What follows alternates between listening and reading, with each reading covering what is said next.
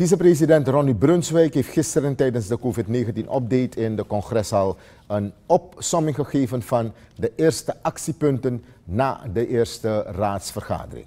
Zo zullen de gebouwen van de Vreemdelingendienst en het politiebureau van eh, Nieuw-Amsterdam, die geen elektriciteit hadden, worden voorzien van de nodige nutsvoorzieningen.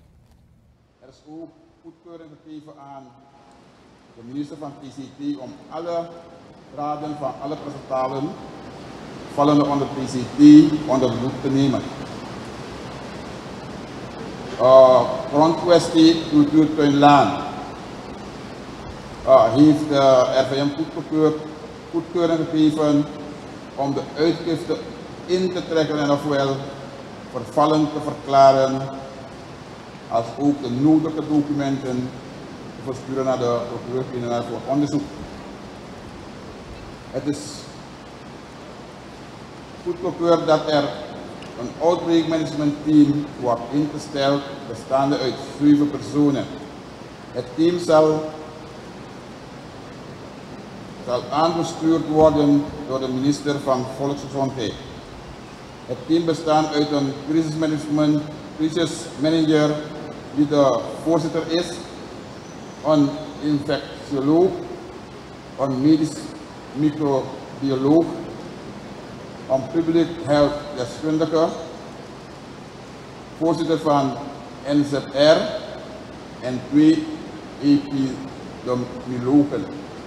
De vicepresident gaf verder aan dat het directoraat belastingen een managementteam krijgt voor de duur van negen maanden.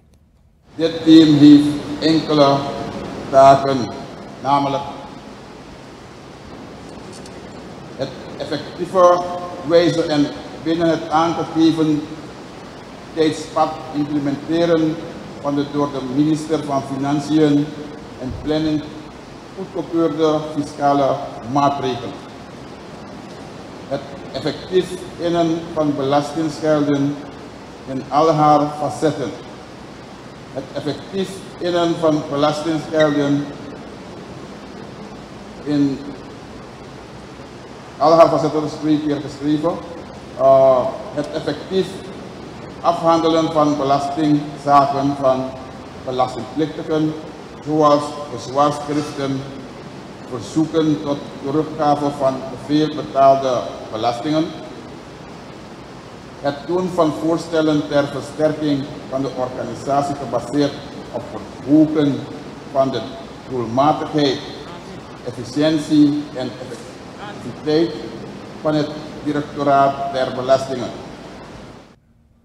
Aldus vicepresident Ronnie Brunswijk gisteren tijdens de COVID-19-update. Hij besprak de eerste actiepunten na de raadsvergadering.